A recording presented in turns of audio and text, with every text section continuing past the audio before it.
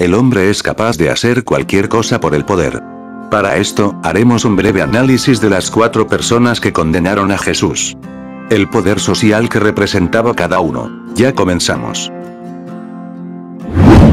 Suscríbete y activa la campanita de notificaciones.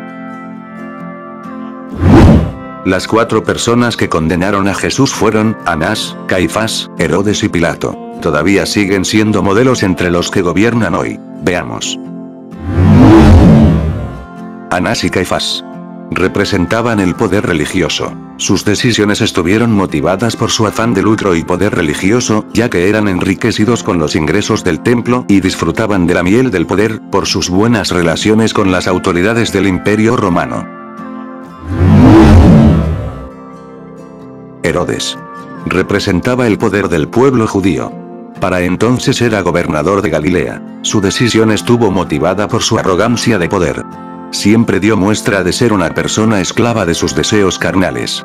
Apegado al cargo que desempeñaba, no quería que en su jurisdicción se presentaran novedades que llamaran la atención del emperador de Roma. Poncio Pilato. Representaba el poder del imperio romano. Se desempeñaba como gobernador de Judea. Su decisión estuvo motivada por su debilidad por el poder. Ya que demostró ser una persona arrodillada a los más bajos intereses de la política. En su pericia de querer caerle bien a todo el mundo, permitió que le dieran muerte a un hombre que él consideró inocente. Por eso es que decimos, que el hombre es capaz de hacer, o permitir cualquier cosa, en cambio de alcanzar, o retener, el poder político, económico, o militar.